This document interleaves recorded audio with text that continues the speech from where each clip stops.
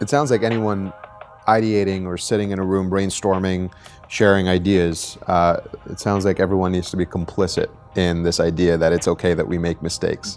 Uh, It's okay that we might not have the answers. Right. Um, do you? I, I think there's another muscle that businesses that the making mistakes Uh-huh. muscle is like a, a muscle that businesses don't flex enough Right. or exercise enough.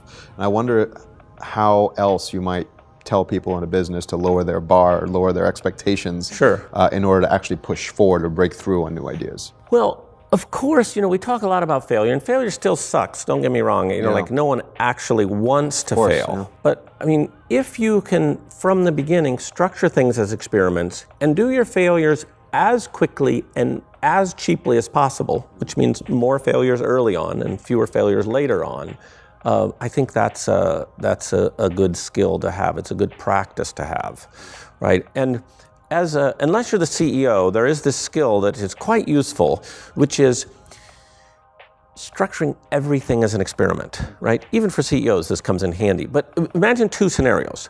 One where I run into my boss's office and say, Boss, boss, I got the greatest idea ever, right? And from a storytelling standpoint, by the way, never say, Oh, this is the funniest story you ever Right. heard. Because right away people say, Well, I'll be the judge of that, right? so, scenario one, you go in and say, I got the best idea ever, Yeah. right?